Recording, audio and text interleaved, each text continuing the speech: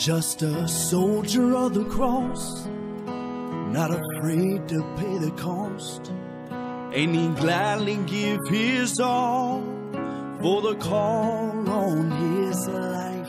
He's the shepherd of the flock, solid as a rock. And when things are at their darkest, he leads you to the light. You call him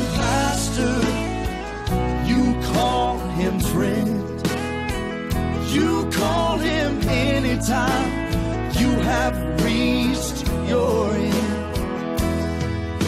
He's always there to comfort, he's there to pray you through. He's the pastor. Hindi po, Pastor. Salamat po sa mga prayer. God bless you po. Pastor, God bless po. Happy birthday po, Pastor! Thank you for being a great example to us. May God give you a long and healthy life. Love you. Happy birthday po ulit. Hello po, Pastor Rene. Happy, happy birthday po sa inyo. Thank you po for always guiding us and praying for us. And likewise, we're also always praying for you and we thank God for you. Yun lang po. More blessings and birthdays to come.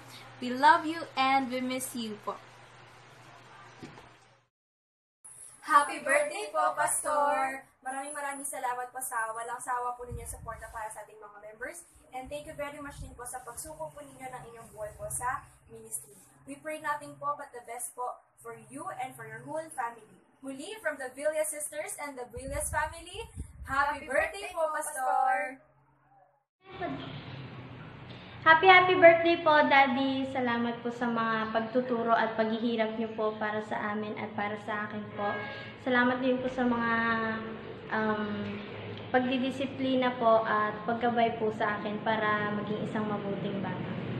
Happy birthday po, Pastor. Thank you po sa pangangaral niyo po sa amin. At thank you din po sa paggabay niyo po sa amin sa mabuting gawain po sa Panginoon. Happy birthday po. Happy birthday po, Daddy!